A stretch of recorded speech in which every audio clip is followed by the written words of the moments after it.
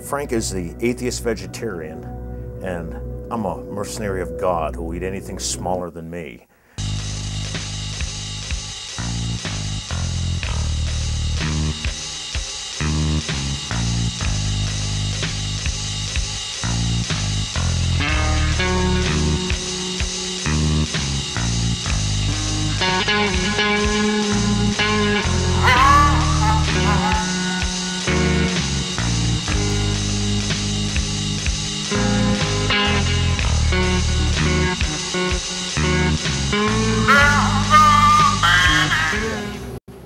Well, I, I started to get, par I got Parkinson's disease. Uh, the symptoms came forward in 2002. When you talk about Frank as a person, at this point in his life, everything starts with his battle uh, with Parkinson's.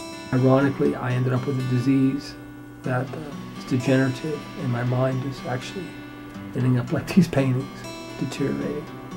So it's just uh, just an irony, I guess. My body's like an egg timer. You know, those little egg timers that have sand in them, you turn them upside down, and the sand falls through. That's kind of what my body is. Every day my body is deteriorating. So I'm doing these paintings that are a series of sequences where they, they start out with a lot of things going on and less and less and less and less. If you're going to paint a fruit bowl exactly the way it looks, you might as well take a photograph because you're going to get a great representation. I would have to say he's probably one of the most intriguing, um, brilliant individuals I've ever met. Incredibly different. He's truly an inspiration. He's uh, a very talented man whose knowledge and love of what he does can be uh, felt when you're in his presence.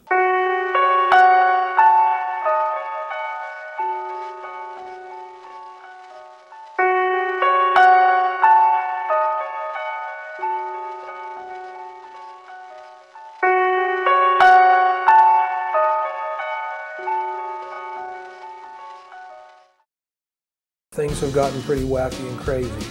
I went to see a contemporary seance that he had at the art festival in downtown Pittsburgh. If you give somebody uh, 17 acres and say, build me a mansion, anybody can do that. But give them a little 10 by 10 city lot, say, build me a mansion. And that's where talent comes in. I don't see the journey very exciting. If you're going somewhere, you already know where you're headed. You learn that the secret of success is not measured by the dollar or fame, it's measured by the art of falling down and getting back up. You, fall down eight times, you get up nine.